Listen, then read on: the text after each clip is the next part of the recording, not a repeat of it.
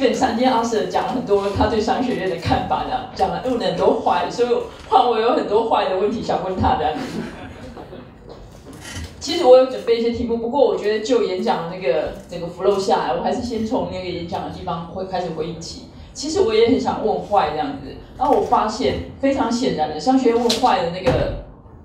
问法跟你们这样背光训练出来的坏是不一样的。那你刚刚又说。那个你们公司很多商学院的学生，然后你就觉得那些人只出一张嘴这样子，然后每次对对你指指点点这样，然后东西可能都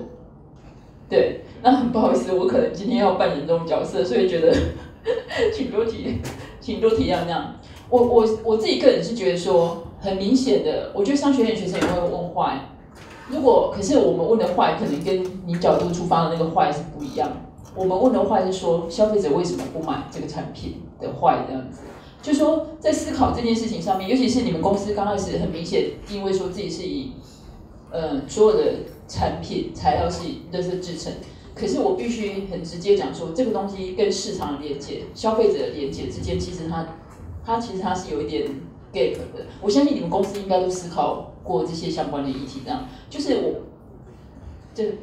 我还是受到我背景的限制，所以我还是必须说，就是我们看的许多 case 里面，光是这种东西，它在 marketing 或者在市场连接上面它是弱的，因为消费者却缺乏 motivation 做这种连接，除非他是一个狂狂热的那个环保主义者这样子。所以我觉得我会问的坏，反而会是说，你们问坏，你们确认说你们目前为止问坏的方式真的是跟市场连接吗？因为我现在觉得我听整个听起来，我相信小鸡研发是一个，它很像是一个非常好的艺术。前卫艺术公司这样子，然后非常好的、非常好的设计，非常好的理念，非常好的高度，然后非常好的建案。可是，一个以 business 的角度而言，因为 Michael Porter 他在讲说，你做你一个公司，公司啊，在思考你整体策略的时候，他很明显，你必须非常清楚自己的定位，而且是必须做取舍，因为这样子一个案子，它长期而言，它重效不见得会累积，就一个商业利润的重效啊，这是我我自己的感受了。那所以我的意思是说，我们问的坏变成是说，我我们那个材材料连接怎样跟这个消费者之间有一个很连接的很强的 link，以至于消费消费者愿意说他愿意掏出钱来买我们的那个产品这样子。所以我们问的坏是要问消费者的心在哪里的坏这样子。对，那不是一个就是你刚刚问很多为什么他这边不能变成三 D 或怎么样？以商学院的角度而言，我我觉得尊重专业，可是以商学院角度而言。这个问题一问开始问法可能不会是这样的问法，一定我们直接问的是市场消费者的心，它坏坏在哪里这样子？我觉得太太好了，谢谢老师给我这个机会啊，让也让因为我自己以前也是算是商学，I almost went to Harvard Business School，OK，然后我上的课是在听，所以其实我是觉得是我们没有问为什么你市场上。折三 D 的天花板是很值钱的，非常值钱。我们为什么可以让 Nike 接受，而且是未来四十家店，也许都是用这样子的东西？为什么？设计也许 Yeah，因为因为我觉得商学院大部分都是讲 OK，因为它有艺术细胞，OK，Fine，这样就那这样这一句话一一句带过，其实太啊，我觉得有点也会。太小看我，我是在 business 家庭长大。OK，呃，if you want to talk about finance，我以前也是学 finance。OK，所以你要找找 finance 操作，我们也会啊，不是不会啊。现在是一开始你要对最清楚你的产品的竞争优势是什么。当我在市面上有一块折板的天花板，原本是买不起的。因为原本也许是一平米要五十块，我现在卖它一平米二十块，然后消费者，你知道，消费者卖的是卖还是讲我？因为我刚一开始其实没有特别说明，就是卖肉这一块、卖性这一块，还是商业根本的来源。你今天要附加价值卖 sex。从 Calvin Klein 到 Facebook 到全部还是在卖 sex OK，如果你不觉得这件事情根深蒂固了，是在卖 sex，then I think you don't understand 动力在哪里？因为消费者为什么要买这个产品？是因为他可以让他觉得这个东西他买了对他有价值。那对他有价值是什么？我只是说对他有价值是怎么？不是说掏钱说哦 compare 这个谁都比较喜欢 sexy 的东西，谁不喜欢 Lamborghini？谁不喜欢一个性能很好的车子？不可能的啦，男生不可能不喜欢，对，不可能。就像以前古代人喜欢马，喜欢美人。那谁不喜欢这个？Come on，这个，但是其实这代表的是 sense。OK，那反过来，呃，我们也问说，为什么要 fast fashion？fast fashion，像 Zara，fast fashion，你可以买到，你可以买到同样看起来像 Prada 每一季变换的 fashion，at 五分之一的 price，不到五分之一，因为根本就是二十分之一的 price。但是它的它的代价是什么？它的代价是我们啊中国产业的劳工，我们华人产业劳工，代价是你知道最近绿色呃组织对 Zara 和那个呃 H&M 做最大的分析是他们太毒了，太毒了。但是你看消费者当他一直去买，一直去买，一直去买，一直去买的时候，为什么要一直去买？你知道我们的 wardrobe。我最近才参加了一个那个香港政府办的产业发展，wardrobe 衣服，我们现在 wardrobe 的暴增量，你知道是多少？是以前十年前的四倍，four times。那我们诶建筑空间当然要变大，因为你你衣柜现在一定要做很大，因为你有这么多衣服，而且一个 season 用掉，那我们现在拿去干嘛？有的是拿去抖内。那你看这些毒性是大量的一直被制造，为了 fast fashion。我们其实现在已经 exhaust，在经济已经 exhaust 到能够赚的简单的钱都赚完了，现在在赚这种，因为我们的需求已经 over over supply。那也许你会觉得消费者要什么？Yes，消费者跟不管是谁啊，现在每个人都说消费者其实根本不知道要什么，他要的就是。more。可是这是一个很现实的矛盾逻辑，就是说，因为你在市场上生存。其实我我觉得我真正想问的问题是说，为什么消费者要接受小资研发？真的，我觉得最 critical 的问题是，如果如果说，因为你刚刚很明显指出说，消费者其实还是要的是 more，要 sexy，大家都在卖 sexy。那今天小资研发，它很明显，它真正它你你们觉得你们所谓的优势是在于说，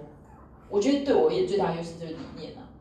对最大的优势是你们公司的理念嘛，然后那个做出来那个环保的剪裁这样子的一个理念，我觉得对我而言是一个最大的最就对我这个消费者而言是一个最大。可是如果那个我我应该要问的问题是说，那是因为我对环保的议题很关注，所以基本上我觉得这样的公司很吸引我这样。可是对其他消费者而言，他的 link 的点到底是在哪个地方？所以我我觉得最有趣的就是你可以看到。为什么 Nike 找我们？不是因为环保，是因为我们做出来的东西比较快、比较 sexy、比较便宜。对，所以这是一个很有趣的问题，就是说你们真正被接受优势，其实不是你们标榜的东西。但是我只在这边标榜我们的优势，但是我也不在别的地方标榜我们的东西。我在卖东西的时候，我不需要讲我，我我是要偷偷卖给他，我是为了我自己，我愿意当奴隶，我愿意当。卖身，OK，蒋老师的，我们都在卖某种的，we we being used，对不对？我愿意卖我的时间，我卖我的精力，我卖我的 everything，for 一个理念。但是我可以用各种方式卖，但是我真正的理念是环保。这个问题非常好，因为这接下来就是，其实要回归到我们今天刚开始的时候，我我跟大家讲过说，这个主题是所谓的。活自己新创业，但活自己，我下了一个定义，就是活出你心中真正渴望的自己。对，这个问题其实是非常不好回答问题。活出最好的自己，因为我不讲做自己，因为做自己已经变成一个任任性的、被滥用的那个借口跟理由，这样子，就是大家都会，就是做自己好像变得非常任性、使气有。所以我说是活自己。那活自己，我下一个定义是活出你心目当中的愿景，或是最好的自己。那显然，因为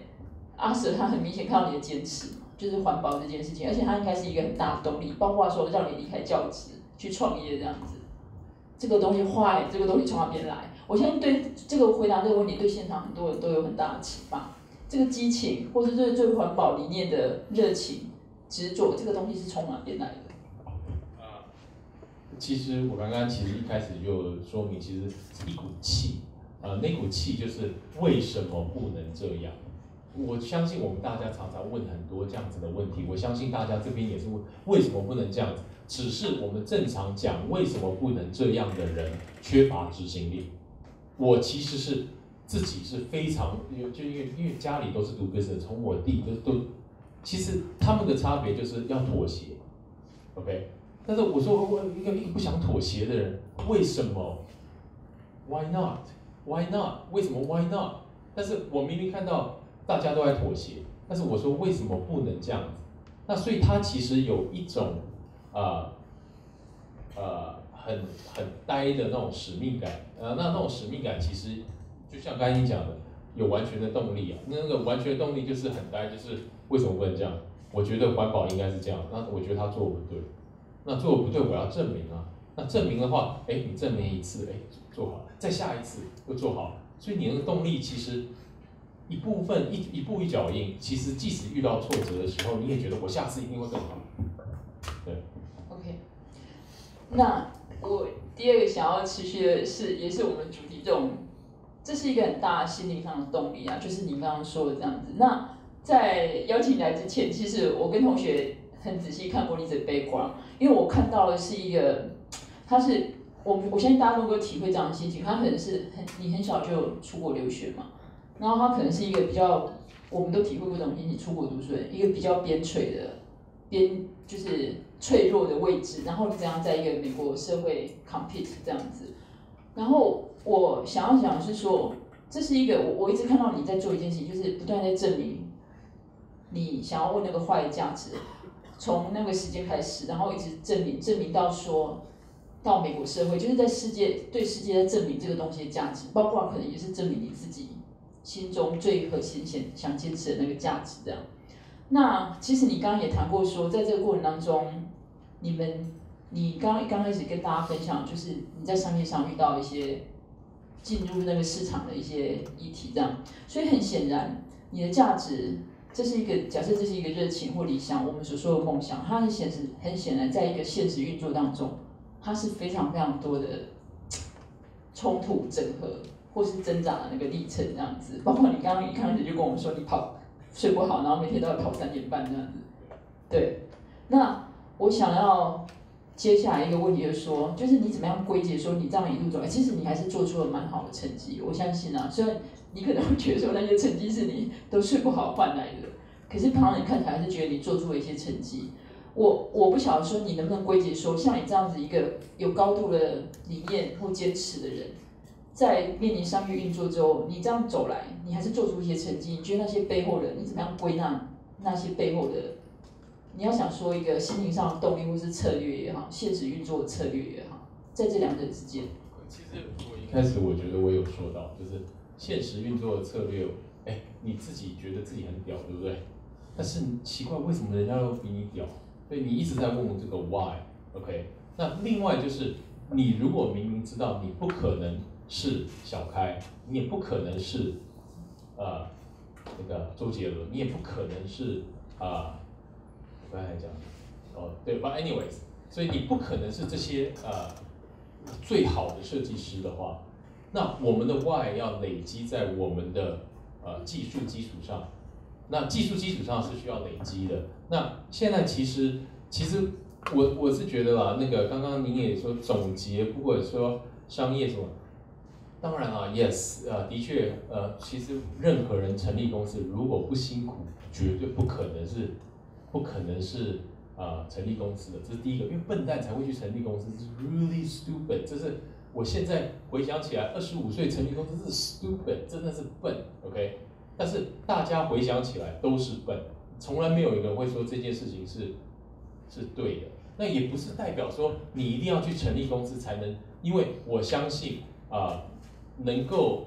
呃这样子硬干出来的的能量，就像你讲，要每天真的很难。所以我最近其实有一个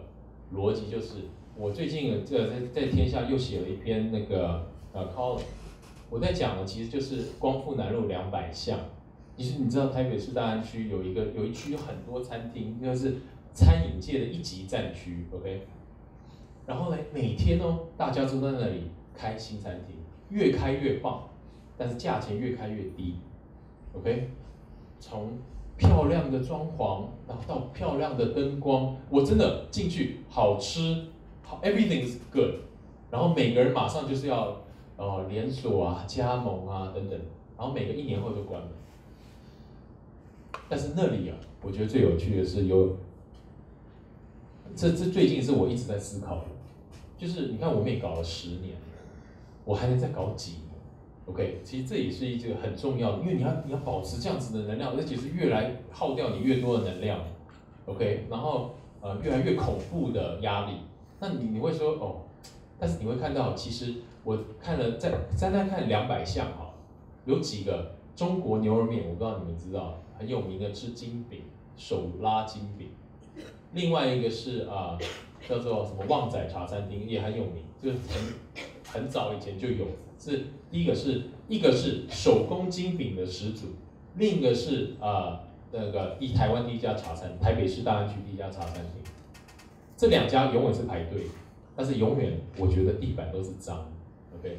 然后呢，永远没有装潢，二十年三十年没装潢，但是永远在人家排队，而且是价钱为予提升的。然后呢，别人哦到了吃饭时间，我们整个公司大家出去吃饭，每次。整条街新开的都是免费，就跟那个周星驰一样哦，尝鲜价一百元有找，两百元有找，然后各种不同的自己开一个铸铁模，什么那个什么铸铁模，一下子火锅加呃那个创意无限，然后里头装潢根本就像超高档的夜店啊什么的，然后一百元有找，You like how in the world 这个东西可以 survive？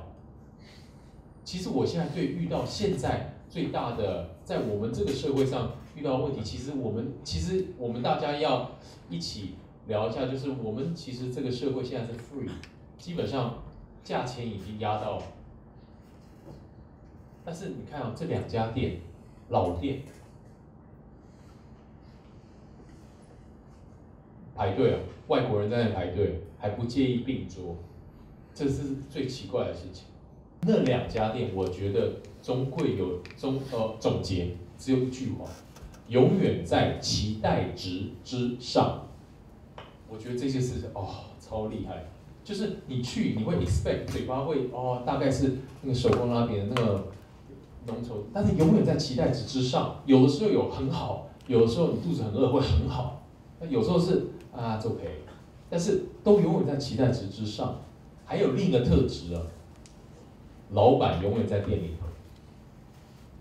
而且嘞，那个老板永远是这个揉面的那个人。茶餐厅的永远是擦桌子的那个人。我说哦，难怪，你知道那个他们的坚持，呃，我觉得是那个才是最，因为现在创意已经跟你讲，创意讲讲烂了嘛，那想 idea 的人太多了，但是做事情的人太少，愿意把他一生奉献在揉面。然后不想去开分店，不想去装潢，然后还有最第三个最特别的特质是，两个老板脸都超丑，肯定他不是在想怎么装修他的店，肯定他不是在想怎么呃拢住老顾客，真的，他肯定不是，他从来没有在我们桌上收修过，因为我们每天就是一个礼拜会去两次的，都不不跟我们收修。你能完全没有啊？我觉得好奇怪。没有，我我觉得啊，其实我我我我听你在说的时候，其实我我想到蛮多事的。因为像这次我八月的时候去一趟去一趟美国，我们参加国际管理学会，然后国际学管理学会的那个那个 president，我都称他为学术界的李安，他也是台湾人。然后国际管理学会已经是管理学界里面最高的那个殿堂，然后他在里面当 president 这样子。然后他讲说，他回来他就送了我们在场去的 scholar 一些话。他就说，他讲话回答回顾了中庸讲的道理，他也深海在做这些事，唯精唯一与直觉中这样。他就说，他送给我们“精一”两个字这样子。然后他又讲说，他觉得他对那个他觉得某些东西的失传很可惜。所以失传的意思就是说，因为我在你身上还是看到那样的精神，就说这不是只是一个做生意的人，这是一个有所谓的有道的创业家啦。然后他他讲是说，中文里面有一句话讲说，天命之谓性，率性之谓道，修道之谓教。就是天命之谓性，就是你你这个人是怎样性质，你就顺着他去做，这就可能就是你的天命。呃，天命之谓性，率性之谓道，你顺着你的天命去做，那就是一个道。修道之谓教，就是教育的过程，其实是把你让你在走你所谓道的历程当中走得更顺这样子。那我我觉得说他这样子的理念，就是说这是一个想法，就是说道跟术之间并没有分野，就是说像因为我在你身上看到那精神，然后也蛮多商学院的研究里面支持说，譬如说像《基业长青》这本书，就是讲那些公司为什么能活百年。他们领导者几乎都是有很强的使命、使命感、价值观，然后理念在坚持他们所做的事情，是这种东西带他们冲破。那策略它变成是一个，对，它变成是一个手段方法这样子。可是就以那个策略这个观点，其实也是蛮重要的，因为我我自己会感觉说，我对你们公司最大经营生意的的 question 会在于说，因为你们做很多 case，你们定位可能是又像又像是一个。设计公司又像是一个环保建材公司，其实他们以策略观点而言的话，他们长期累积的优势或是方法论是不太一样的，或被市场是怎么样去定位是不太一样的。然后，那个所有商学学生都会读那个麦克布伦那边策略是什么？他提出了三个要素：一个是公司有独特的定位，第二是一定要有取舍。一定要有取舍，就是你不可能，你要人情，就是不可能什么都做这样，一定要取舍。第三个是，你要把你所做的活动，它本身是协调，它本身是有高度的重效效果，所以整个协调起来，公司就能够以比较最好的效益和效能方式呈现。所以其实我我这是我对，就是我们刚刚讲，我觉得你已经很有所谓的，我们讲那种商人的灵魂，或是那种创业家那种道，这是很少见的。我相信那些做一年的公司，他们大家都没有这种其实就是随着泡沫这样子就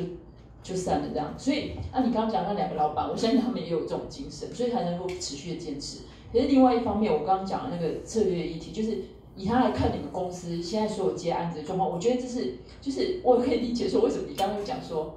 你不晓得这样的时间，就是以你现在这样子耗心耗力，然后三点半睡不着的情况可以继续撑下去，因为很明显的。我我自己觉得，我我对你们公司的定位，它是一个环保建材公司，它是一个设计公司，还是它是一个研发创意公司？它其实是就是就是以就是以策略那篇文章观点，还是有点冲突，因为它没有一个很清楚的取舍，对不对？这是我想要请你。对，因为这个是我们公司不断的讨论的事情。我们的策略，呃，其实大家看起来很乱，OK？因为一下子是这个，一下子是这个，到底它是什么？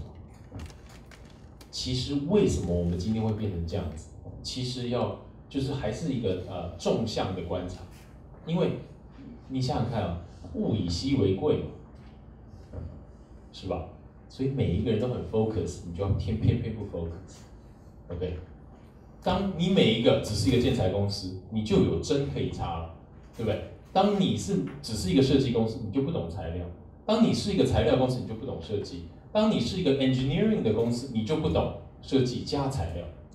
对不对？所以，当你能够在这个中间这个重，那在你这边插针的时候，当你很清楚这个是我可以插针的地方啊，只是现在的插针方法跟以前的放针的方法是不一样的，因为现在我们的资讯太扁平了，这个是问题哦，这个是大问题。我们现在商学院的。就像这个课，对不对？也要放在网络上平台，对不对？那个 everybody gonna have the same information as you。如果你知道你要查什么的话，就像今天人家说，哎，你们怎么可以去做材料？网络查就有啊，六零年代的 pattern 早就有啊。哎，你不懂，然后我就跟他讲，得得得得得，他说，哇，你还比我懂，那怎么办？他变，他价值变 obsolete，你知道？所以现在的问题刚好是反过来，对我们在。市场策略上面，要不然我相信不会真的。那你，我希望呃未来这几年啊，你们有机会看到我们，也许跟更大的品牌合作，说不定你们都已经用到我们的东西，你都还不知道。OK，因为我们的策略也许现在不是可以这样子明白的当跟大家大拉拉的有 recording 就讲出来，但是这个的确是我们在思考。但是呢，我在讲优势的部分，现在刚刚好是相反。如果你太集中，你如果我我们一直以前是讲逻辑啊，以前啊，丛林对不对？你看到一只猎物，我要拿一支最棒的枪，然后很棒的 scope，然后我去认真的用策略去射它，精准操作，对不对？什么样的子弹，对不对？什么样的后坐力，什么样的射程？什么样的弹道？Yes，但是现在不一样哦。我们现在森林是全黑、扁平的，平的。大家的优势其实大家都可以知道是平的，一团就糊，就是整片是雾的。请问在整片雾的时候，你要射哪里？你今天半导体，我当然可以讲了。那，十年前我当然可以讲半导体，我就是做 DRAM 的叉叉叉叉叉叉叉叉叉，我是。Semiconductor，我就是做这个，我就是帮 Intel 代工，我就是怎样，我就是怎样，我就是怎样。Yes，I can be very sharp，我可以把全部的 energy focus 在一个地方，一个点。那我可以用最少的能量去插那个点。但是，请问我们今天有谁能够跟我讲设那个点？我们公司现在是这样，跟每个 business school 或者连我自己一开始到处乱插，我觉得这是对的，一年觉得这是对，另一个进来，我觉得那个是对。一个进来，我觉得那个也是对，怎么办？怎么办？因为你想想看，我们这个材料真的是可以应用在什么东西都可以应用。因为我们都受到执行上有限资源的限制，你们公司啊也是也是对，所以基本上它有一个很重要就是取舍的议题。当这么多开枝散叶出来的时候，就变成是一个很重要取舍的问题。说，所以我实际跟你报告一下我们公司的。去呃，二零零二年虽然是我们啊案子最多的一年，却是赚钱最少的一年。OK，这是第一个。而且二零一零一二年，这个我们完全意识到了。二零一二年，然后另外二零一二年也是我们 business school 最多的人一年。OK，最多的一年，因为每一个人都想拿资源自己往这边射。我觉得应该这边射，但是我跟他说，哎，no no no，后来。我们今年大家这股东会开完，我们大家把财报拿出来，太难看了，OK？但是今年又很好，二零零呃，所以其实这个其实中间有个转变，这个转转变其实是跟您刚刚讲 focus，但是你的 focus 不太一样。我们今天就换了一把散弹枪，它是那个散弹枪，它不是那种短呃短 barrel，你知道短短 barrel 是这样自乱开。OK，我们现在散弹枪其实是有一个，已经有一个 range，就是有在一个也许在这个方向，也许不是陈同学，但是你呢是整个这这一块，至少有方向。然后呢，你要想看，在一个茫茫茫的森林里头，一开始一定是投石什么问路嘛，而你一定是打出去，让人家看到说，哎，猎人在这边。但是其实你猎不到任何东西啊。基本上全是散，OK。那现在是哎，听到声音了，听到声音我要往哪里走？砰，我可以换一支，呃，换一支呃，就是长 barrel 的散弹枪，或者我现在已经可以换到至少三把，三把枪是精准三把枪，所以我已经换枪了，OK。OK，所以看起来有一个蛮 radical change，就是。就是思维上的转变，在这一段时间就对。在在这呃两年里头，有个很强大的冲突跟 business school，但是这中间也让我们很清楚的知道自己在做什么。而且最有趣的是啊，刚刚讲换枪，OK，换枪这件事情，我觉得换枪这件事情讲起来容易，其实很难。啊，你要赶快脑筋要开始换，对不对？脑筋要开始换。那呃。我突然忘记说什么，但是待会我有想到，这因为换枪了以后，现在发现其实啊，它的永续性、它的成长性越来越好，对。因为其实以那个，因为我我想要再回应，就是以你这样的公司的特质而言，其实如果你们在技术上走到非常非常专精，譬如说 Intel 它也做出品牌，可是 Intel Inside 它不直接做消费者，它完全以它的技术或是它的技术定位取胜，这样它不做消费者这一段。所以有可能小企业发一个可能走向一个非常在技术上或者在材质上，可能走到非常非常非常非常，就像你讲臭着脸，我还是可以煮面，大家还可以上来。这是一这是一个很很重要的做法。如果你完全都不走消费者，你就是在技术上不断不断的超越这样子。那呃，我跟你报告一下，技术上面我们确定，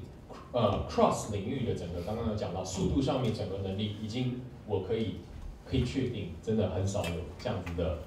公司了，至少全世界很少，你去找你真的找不到，OK。然后第二个件事情，这是确定。第二件事情我们可以确定的是，消费者产品你不要被我们骗，这些消费者产品我们是真的在做消费者产品。我们公司的营业额跟消费者产品有关系的到底有多少？你想，我们营业额是来自消费者产品？No way。很重要，百分之六十以上是来自环保建材。其实是建材，但是我还有很多是材料。我所以我说，真正的东西其实是我们第一个要。我们其实哎呃，大家可以也许啊讨论一下，就是你知道 fashion 的品牌，Polo、Ralph Lauren。他到底在卖什么？曲啊，卖 image 吗？对啊，但是他做这个 image，他要做什么？你看啊，他其实赚钱的东西只有一个东西，就是 polo 衫。但是他需要到处开旗舰店，他需要到处办 fashion show。你知道一个 fashion show 在美国随便五百万美金、两百万美金，你花钱有人这样花，fashion 品牌 Prada，他到底在卖什么？我们有办法真正穿 Prada，人家真正赚钱是什么？大家知道吗？It's my image，他真正赚钱的东西，所以他限量。我办 fashion show 五十件，真正能买的那个课程是非常非常非常极少极少极少。OK，如果以这样子的一个高度精品的策略的话，我还是一直想到，就是还是想到。会不会被环保理念变成？因为品牌要卖的是时尚尖端，所有人都想成为好奢的人。可是我不知道大家对所谓的环保会不会到达对品牌那种狂热，或者那种拜物的那个心态会不会到这么极端呢？对一个环保那样子的东西看法，因为环保根本跟资本主义主主义奢侈品的运作，它根本是目前为止没有找到一个整合点呐。对，对，所以为什么要奢侈？奢侈其实就是。因为你你比较屌，对不对？就是这样子，就是这一句话，对不对？但是如果今天开 Lamborghini 的人不够帅，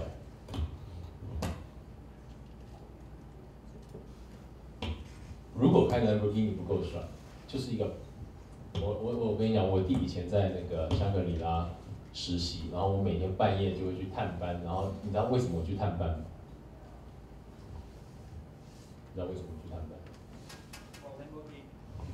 对，for 不是不只是 for Lamborghini，是 for Lamborghini 出来的那个女生。然后最有趣的是，因为到了半夜哦，高级饭店晚上都是像酒店一样，你知道就是超有钱的人开了一台 Lamborghini，OK，然后停在门口，然后一个超漂亮的女生走出来，当然是去开房间了。超漂亮的女生走出来，然后我们两个就这样十八岁就坐在这哦。然后呢，最有趣的是从驾驶座走出来的那个人，Oh my God，秃头，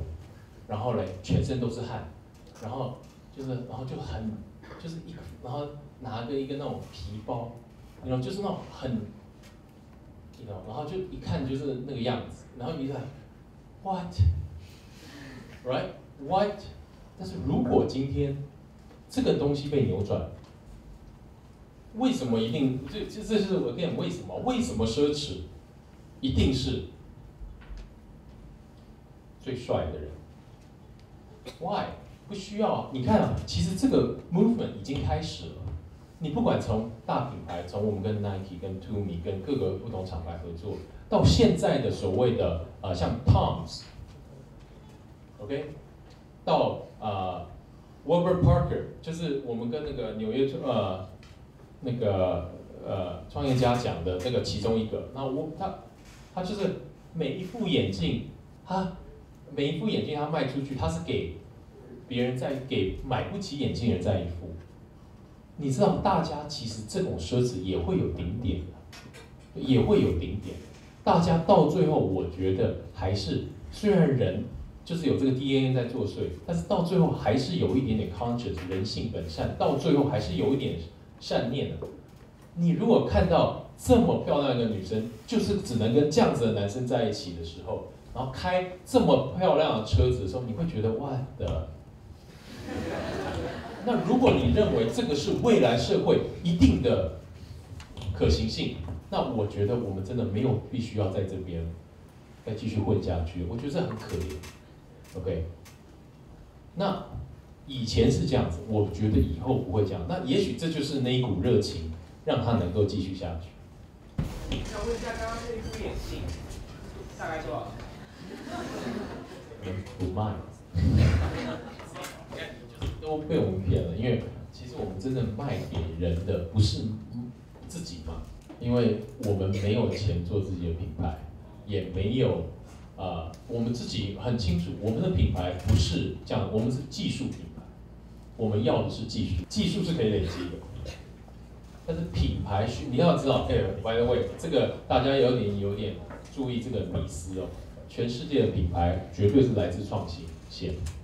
没有一个品牌，而且创办品牌的人，正常除了 fashion brand 以外，没有一个是设计师出身，也没有一个是商学院出身。而且，任何品牌的呃呃的创办人，永远是 engineer 工厂出身，连现在 Nike 的老板都是。OK，所以他们全部的基础功就是基础。就是你不管是今天是读 business 或读什么，你要有自己的基础，就是看事情的基础。所以他们其实都是基础工业。然后呢，再来讲，你现在会觉得值钱的品牌，三十年以上。所以我们太快了，太急了。这只是我觉得啦，我觉得我们 business school 的最大的问题是我们太急了。因为你觉得策略可以解决事情，但是 no，not really，因为我们太急了。你知道一个品牌的累积？你看 LV 多久，Prada 多久？你知道 Prada 多久？你知道，一九二零年就有，是他爸爸创立。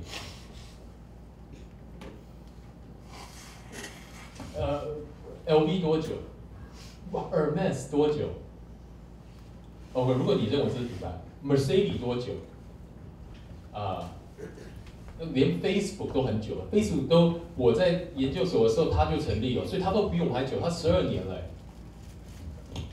对，所以我们太急了，真的太急了。呃，我想请问一下，因为刚刚你在提到提到就是你公司的创业过程中，从原本六十个人，就是说现现在目前三十个。那我想请问一下，就是您现在心目中有没有一个最终说，我现在公司未来发展就是一个理想规模是现在这样子就 OK 了，还是其实你还有？其他的，OK，呃，我最近我看了那个《Cheers》杂志，请我去看了那个 Steve Jobs 的电影。你知道他做的？我觉得，因为之前我没有读他的书，但是其实我们在美国对 Steve Jobs 其实蛮了解，蒋老师一直都很了解。你知道他永远的 engineering 的团队，就差不多就是十几个人，剩下你说什么三万员工、四万员工？那我觉得那个都是 logistic 销售人员、行销的人，那基本上就是办活动啊这些，因为他需要很多人力的。但是真正的脑筋的人很少，技术人力很少的，非常非常少。所以你在 Apple，也许你你知道那个我呃，就像我们最近跟 Nike 合作，哦，根本他们全公司就是那几个人，蒋老师只有那几个人讲话说的是算，剩下都不算，全部你那几万个人管他讲什么都不算。因为公司蒋老师真正做决策就那几个，哎，那是很很 scary 的。现在如果你说你成功的定义是我要在那几个人里头才叫成功的话，那其实反过来，他们为什么这几个人会在那个团队里？那所以你看，不管是软体的，就是一个；硬壳的，就是一个；OK，主机的，就是一个；界面的是一个，就一个人，one person。OK，然后把它统整起来。我觉得 that's very，那所以我是觉得为什么我们原本从六十说到三十？你看这呃答案是很明显。如果你扣掉我们的 admin，你扣掉我们，我们真的现在基本上说话算的公司最多三个人，最多三个人，可是就是其实只是把全部的呃逻辑拉回最原始的，我们做 polybrick 那个时候的概念，就是两个人能够把一件事情想完，这个是最有效率执行的方式。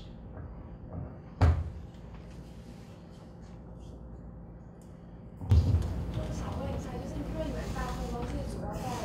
财报部分，一开始 R&D 的财报研发要花不少钱，那一开始所以你们要怎么运这个资金？自己赚，第一个，我们靠小产品赚钱养自己很久，OK，但是它不是我们的终极目标。我们运气很好，我们第一个产品，如果你研究我们第一个产品是 High Mini，用 A 回收 AB 的叫回收的，把回收的那个纸做成风力和发电机和太阳能板，然后嘞，我们那时候也没跟人家讲不回收的哦，没有讲。是我们要做，只是没人知道而已。然后嘞，它只是那个产品，你不要小看那个产品，那个小品那个产品其实让我们赚了第一桶金。那其实最难的就是有钱滚钱，啊，就是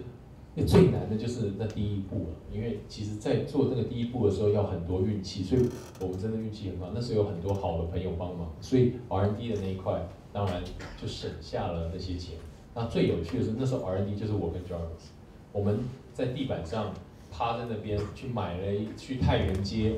买了一个风机，可以就在自己的家里在试怎么去